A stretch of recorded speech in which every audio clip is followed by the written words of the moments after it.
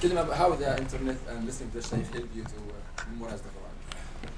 Uh, at first, I didn't know like one single verse of the Quran, so I just decided to like memorize the Quran.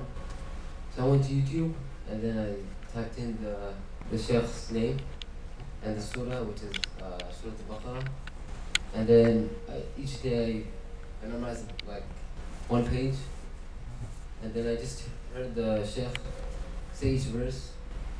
And then I just uh, repeated it, and then I memorized the whole page, and then I memorized the whole Quran.